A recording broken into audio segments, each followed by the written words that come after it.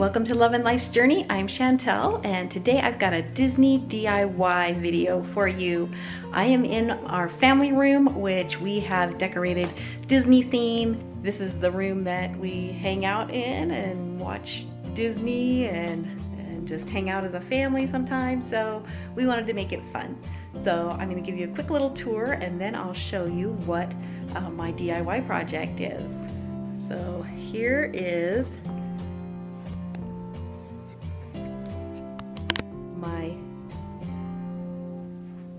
Indiana Jones.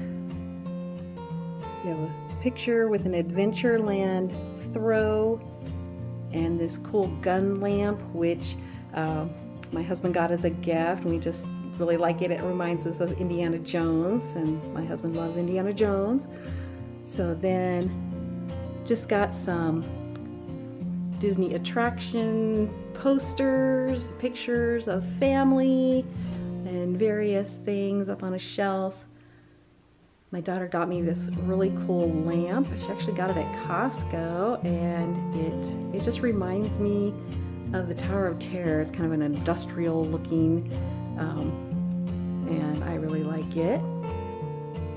And then I've got some pictures that were actually out of a Disney calendar, some of our art of animation drawings that I printed off as pictures and made an art piece. Sorry for the glare in the glass on things. And then this is one of my favorite things. This is a lampshade made out of actual Disney film strips. Let me turn it on and see if you can see how cool this looks. Isn't that just amazing? This is Little Mermaid, and I'm going to zoom in and see if it'll focus. If you can see some of the film strips, the pictures. The light might make it kind of hard, but isn't that cool? I love how it reflects on the wall. And then it's sitting on one of my favorite puzzles. It is a stained glass Disney puzzle and it's made out of plastic but when you put it together you could even hang it in a window and um, and the light will shine through it. It's super cool.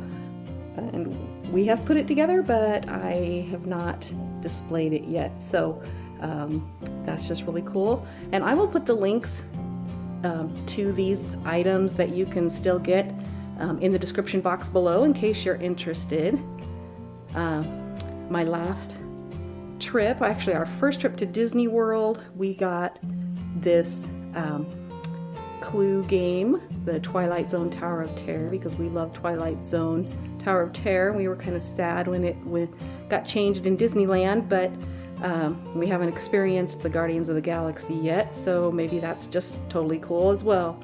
But I got that uh, clue game, which we play, and then this is one of my favorite things. This is a mosaic that is made uh, out of pictures from our Disneyland trips. So that big picture of the Mickey's Fun Wheel is a picture that I actually took in California Adventure. And then it is made up of hundreds, maybe more, of tiny little pictures from our vacation. And I will put the website um, link that in the description box below as well. You can um, make your own and they'll, uh, you just get a download of the file and then I just had mine printed at Costco and had it framed. So I just love that. And of course this little book, Little Man of Disneyland. Um, if you don't know the story about that, um, you'll have to look that up. I'll put the link to that below as well. Some of our autograph books, and this is an art piece that my daughter made with melted crayons, and so uh, some of our favorites.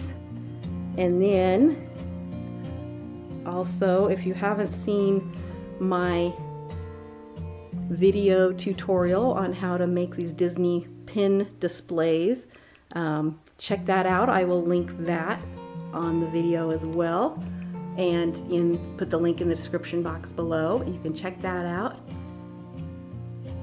And then I put this saying, I thought it was perfect for the family room where we hang out and it's just all about our family and um, friends who come over. So uh, love that. And then of course I have Mickey, my Mickey pin display on the other side. So that's basically um, the Disney decor that I have. My problem is, as you can see down here, there's this, and that's not very attractive. And while the blankets are supposed to be folded up neatly, this is usually what they look like. So I wanted to do something about that, but I wanted it to be Disney theme and go in our room. So um, what I came up with is this. I found this crate at a thrift store and I decided to turn it into a blanket storage trunk. So the first step was to pound in all of the nails and staples that were sticking up. There was a place that needed some glue and I clamped it and while it was drying I used a screw gun and I tightened up all the screws then I removed the hardware, the handles that were on the trunk, and then I used an electric sander and I sanded down the whole trunk, getting it nice and smooth. And I taped the hinges with some blue painter's tape to uh, protect them for spray painting. Then I just added a couple coats of this Krylon matte finish spray paint that I had some on hand, but I knew it wouldn't be enough, so I did pick up one more uh, spray can of that for like $3.96 from Walmart. Once I had the trunk painted both inside and out and it was thoroughly dry, then it was time to decorate it. My family loves the Art of Animation Academy and we have over 42 drawings that we have brought home from our trips. So I took those drawings and I copied them on my printer and I just started tearing around the pictures because I didn't want just straight edges. I wanted it to look a little more artistic.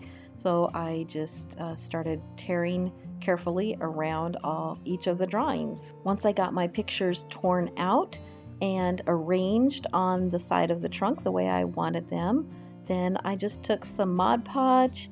I'm just going to take that and with a paintbrush, I'm just going to uh, put the Mod Podge on underneath the pictures and then I'll put it on uh, over the top of the pictures and just make sure they're all glued down really well and um, that I cover them on the top really well also in fact I ended up doing two coats just to make sure all those torn edges were stuck down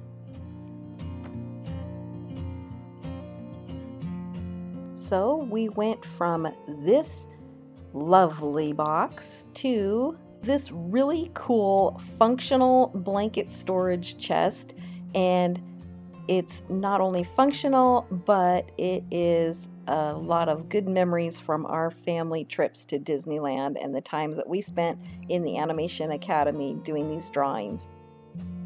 So what do you guys think? I love it. I'm so happy with how it turned out and really I spent like $15 um, on this whole project, uh, maybe a little bit more if uh, I didn't have a few of the things on hand already, but a really great project and it really wasn't that hard. So, you know, just take it step by step. If you need a storage solution, don't be afraid to find something at a thrift store and repurpose it and give it new life because honestly, this was really ugly when it started out and you know, not that great of quality of wood or anything, but now I really love it. And you could totally uh, decorate it any way that you want to, personalize it. Um, some other ideas I had was to do maybe like Disneyland maps on it or even add some uh, fast pass stubs or tickets uh, when we had the just the paper card tickets on there. So different things like that you could do. Um, or even just family photos you could decoupage on it. But so many things to do and um, and if you uh, do a DIY project, I would love to see it. So uh, please share with me on my Facebook page or uh, Instagram. Do hashtag Lovin' Life's Journey, and um, and I'd love to see your projects. And if you are not a subscriber, I would love to have you uh, subscribe to my channel, and don't forget to hit that bell when it appears so that YouTube will notify you when I upload a new video. Um, be sure to check out all of the links in the description box below for all of those great uh, decor items that I showed you at the beginning of the video.